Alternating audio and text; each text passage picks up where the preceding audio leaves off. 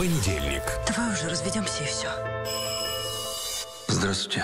Сквозь слезы к счастью. Это он за тобой приехал? Ты вообще знаешь, как он опасен? У меня умерла жена. Твой отец сказал, она умерла. Нет, это он ее убил. Увезите меня отсюда, пожалуйста. Премьера. Тёма, чё вам всем не хватает-то, а?